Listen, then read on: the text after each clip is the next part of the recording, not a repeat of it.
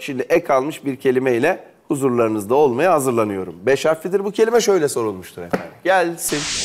Üzerinde iğne, mekik veya tığla yapılmış ince işlemeler bulunan anlamında bir söz. Ne demiştim? Sonuna bir ek almış. Oya da yok. Sonuna Yok, bir şey, ek koysak onu. Şunu bir durdursak. Oyalı. Oyalı 500 puan. tamam.